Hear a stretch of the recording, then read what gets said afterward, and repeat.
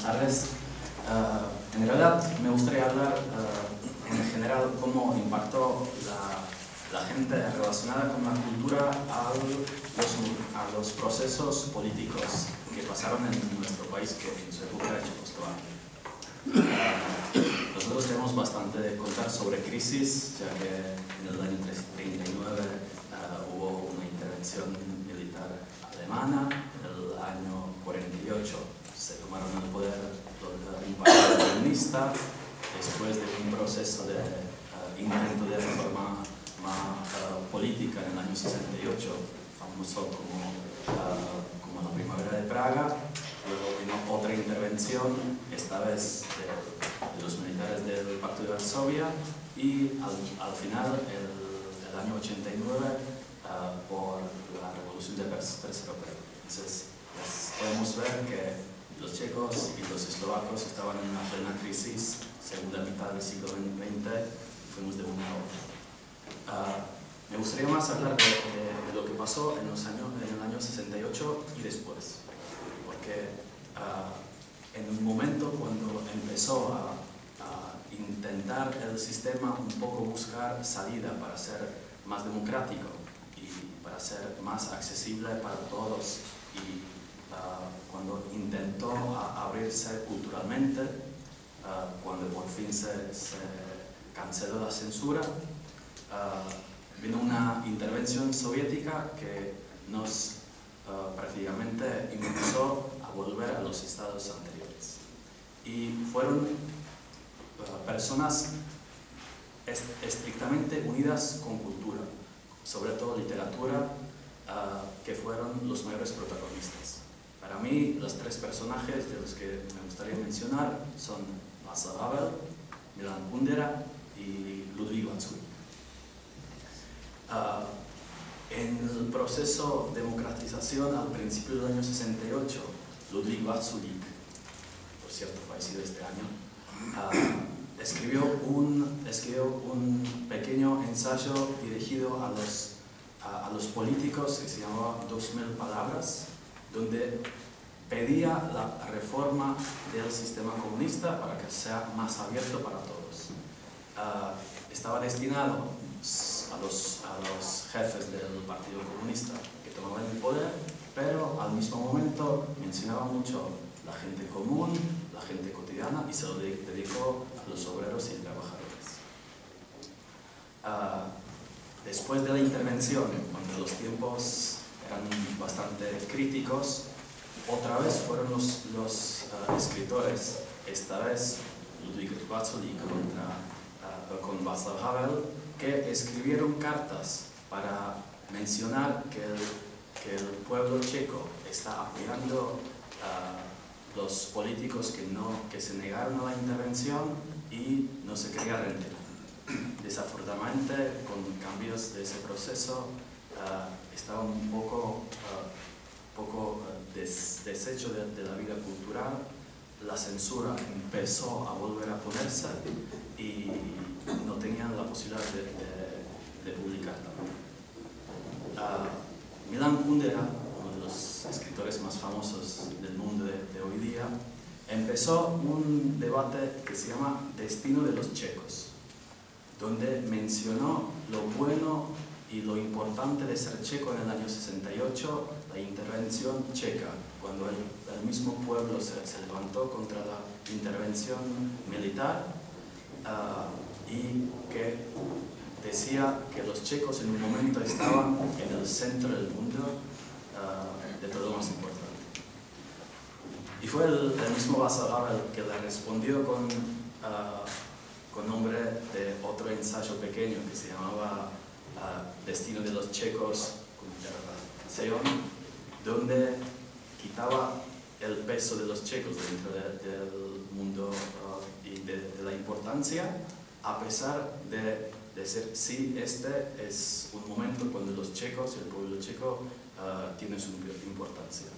Y prácticamente este pequeño debate se está desarrollando y se añadían más autores más, siempre escritores que uh, hablaban de la importancia uh, de los checos en este momento. Y es importante no solamente por la cuestión qué importancia de verdad tenían, sino que se veía que el mundo cultural estaba estrictamente conectado con la política porque sentía que, que sí que había una crisis. Pero desafortunadamente la, la censura continuó y seguía con, con todo lo negativo que sabe hacer muy bien, entonces los escritores poco a poco no tenían las oportunidades de publicar. Ah, ¿Qué impacto tuvo a, la cultura? Es muy interesante porque la cultura checa se dividió en tres corrientes diferentes. Hubo una literatura oficial que seguía el nuevo estilo llamado normalización, que era un comunismo ah, conservador.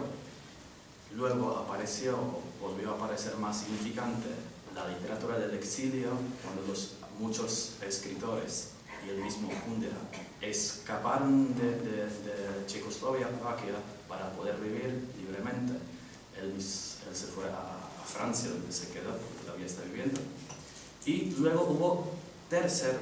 tercer corriente, tercera corriente relacionada más con Václav Havel y Ludwig Vazulik. Esa llamada samizdat que es de una palabra de ruso que prácticamente significa autoedición. No, no es ningún invento de los checos en, en general, pero sí que era muy significativo porque todos los libros prohibidos empezó, eh, empezaron a publicarse en la forma ilegal cuando la gente publicó sus propios libros y entre otras uh, publicaciones, traducciones, etc. Por ejemplo, uh, el libro uh, La insoportable levedad del ser de Milan Kundera en República Checa, en checo, por primera, por primera vez, estaba publicado en el año 2006. Que antes existía la traducción o la versión uh, de, de Samizdat y también otra de exilio, entonces no, no hacía falta de hacerlo. Todos toda la gente la conocía el libro uh, por eso el 2006 fue la fecha.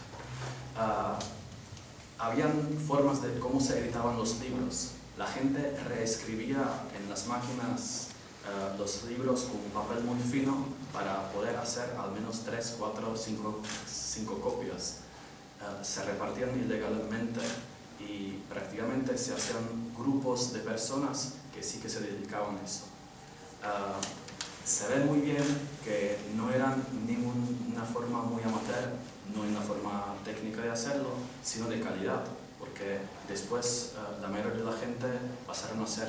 traductores uh, profesionales, escritores profesionales en la época cuando, cuando podía ser. Y luego hubo otra pequeña corriente llamada underground. Una corriente de, autores de todo tipo de arte, de literatura, de música, uh, también de teatro, que se autodominaba como uh, arte de la segunda edad. Era un grupo que no quería ser la, el arte por excelencia, sino que se intentaban expresar en una forma muy vulgar, con palabras muy groseras, actos que no, no eran nada de, honestos, pero sí que tenían mucho que ver y tenían su gran peso. Ah, y es importante también ver que ah, estas corrientes no estaban separadas, porque fue el Václav Havel, luego nuestro presidente checoslovaco y luego checo, uh, que fue uno de los que unían a, las corrientes y el que intentaba juntar la gente de la cultura la gente se reunía en, en, su, en su chalet, su casa de campo, a pesar de estar totalmente prohibido, porque se sentía una necesidad interna de los, de los escritores y los artistas de expresarse, a pesar de una dictadura y a pesar de una censura. Uh, y fueron los mismos, los mismos escritores y otros filósofos que llevaron a cabo una declaración uh, llamada Carta 77, que reaccionó a la Declaración de Derechos Humanos eh, de Helsinki, que pedían al Estado más derechos humanos a la gente y se dice que es el, que es el documento o uno de los documentos más importantes que movía a la gente para luchar contra la dictadura del sistema comunista que había en Checoslovaquia. La importancia de, de, la, de, la, gente cultural se, se, veía perfectamente en el año 2011, que es hace mucho, cuando se murió Václav Havel. Václav Havel, a pesar de ser político, fue una persona querida por prácticamente todo el pueblo. Ah, cuando se murió, ah, el gobierno le dio en uh, Plaza Venceslao, el centro de República Checa, una, eh, un gran fotografía con su nombre que, que estaba, eh, que estaba durante de meses y eh, los propios checos fuimos a despedirnos no en cientos o miles, pero uh, venía tanta gente que se llenaba la plaza de Enceslao y uh, que la gente no quería que, que se vaya.